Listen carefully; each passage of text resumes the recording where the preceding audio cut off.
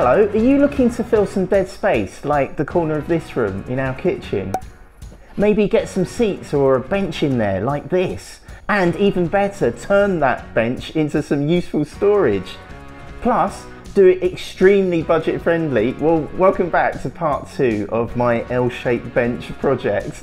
this is sort of how it's looking now, but in the last video, I showed how I built this L-shaped bench using wooden stud work to fill the corner of our kitchen. There's a link down in the description if you're interested in that. But it's now part two on the Dad Delivers vlog where I try something new every day to make my family happy.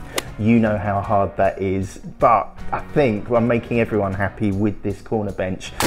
This is more like one of my DIY vlogs, but I kind of left that video unfinished because as you can see I've got the sides not covered up so if we were to use it for storage everything would sort of fall out the edges so today this morning I went to my favorite place on earth not really somewhere that I seem to be going a lot. It was another DIY superstore. This one happened to be B&Q and I wanted to find some plywood. I thought if I got some thick plywood I could use that to put the sides on. It's one of these. And I think I found my perfect piece of wood, but as you can see, it is absolutely massive. I couldn't get that into the car, even if I tried. And I decided to use their cutting service. So I planned it all out. I've got all my dimensions on my bit of paper. But first I had to get the right piece of wood. Now I saw lots of reviews online saying this wood falls apart, it's warped. But actually I thought it looked great. I just knew that the top two sheets were warped. They looked really bent. So I had to get a sheet from underneath. I think on the footage here, you can see me getting the sheet that's three sheets down. That looks fairly new. But the only way I could get it out was by doing that magic trick, you know, where they pull the tablecloth off the table and leave everything standing. Well, I thought if I whipped out this giant sheet of plywood, fast enough, I'd be, be able to get it out. But I think the footage shows quite clearly that that wasn't the best plan. But still, I tried, I kept pulling, tugging. Finally, after a lot of jimmying and walking around this, this truck that was left in front of it, I gave it one last push, managed to get it out. So now I can get it over to the cutting service area. Okay, I've got the wood, time to get it cut now, just over here. And this is the cutting area. I don't like filming people when they're at work. Uh, it's bad enough when I do it on myself, let alone dragging other people into it. But I just wanted to show you sort of how it works.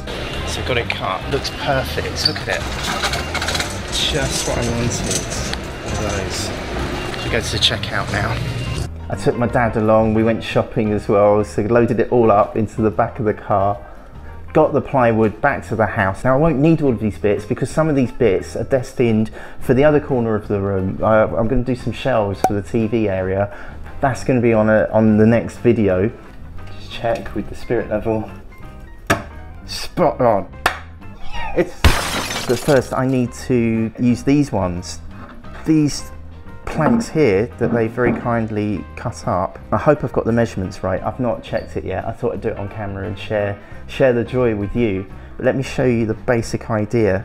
I'm gonna, hopefully, if I've got the measurements right, it should slot into there. So all I need to do is cut the right lengths. But let's, let's just slide it in just to see. Please work, please work. Oh, it's really tight. Oh, that's really snug. Is it gonna work? Oh, yeah. Does it go in? It does, look at that. Great. So all I need to do now is to cut these to length and then figure out a way to secure them, screw them in somehow from behind. The, the wall isn't true, so that's not a true L shape, unfortunately. I think I'm gonna have some gaps. That gap there isn't my dodgy measurements. That is literally how the wall meets. It kind of comes out a bit. I managed to get four pieces cut from the board. I can only use one side because it's got this printing on it and that one's a bit scratched. I think I did that in the car. This one has a load of filler in it. This one looks okay, and this one looks okay. Whoa, I'm going to use these two for the big parts, the long parts on the bench. It's the 1st of August, it's the middle of summer and it has just started raining so I'm going to try and get this done as quickly as possible. One of them I don't have to cut at all, I'm just going to run that the whole length. So if I can choose that one, I think I'm going to it's a hard choice. I think I'm going to keep this one, so get that out of the rain, which means I need to make this one 79.2 centimeters long. I really do not want to mark these pieces of wood, so I'm laying out the dog blanket on our IKEA Siglaro table just to keep it scratch free. I know I should probably varnish it and uh, protect it. I'll probably do that later on, but let's just cut it to length now. I'm using my jigsaw and I'm trying to guide it as straight as possible, which is a bit tricky in the drizzle, but I'm sure I can get it through there. Casper's got his friend over. And now I'm going to cut this piece into smaller pieces. These will go onto the sides, onto the ends of the L-shaped bench to stop all my stuff falling out. I'm on a bit of a wing and a prayer with these measurements because I've got to keep the jigsaw straight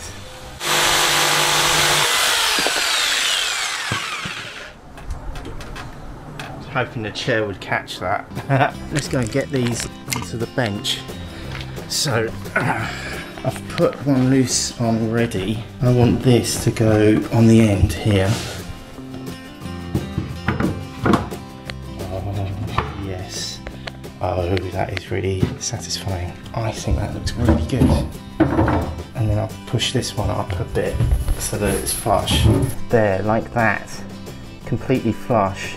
I just need to work out a way now to fix these to the bench so they don't fall off.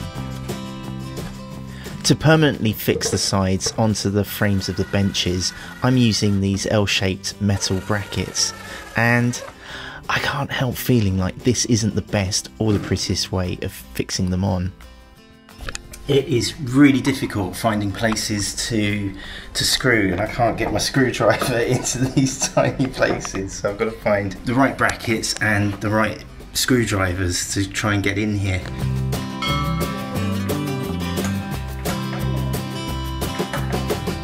I've got a bit of a gap here but it's a bit unavoidable. I think that's the closest I can get and when the lids are on, let's put the lids on.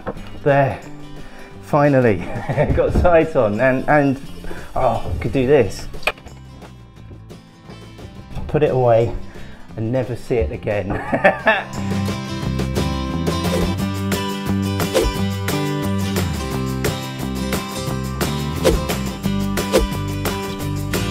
I'm calling this a dad delivers success. High five. Thank you so much for the thumbs up and the subscribes. I really appreciate it. It really helps me to keep these videos going. Videos like this that YouTube knows that you're going to love next. Can you please help my daddy get 10,000 subscribers? Just click in his face. Thanks, bye. Alright, this is going to be the proper one, right?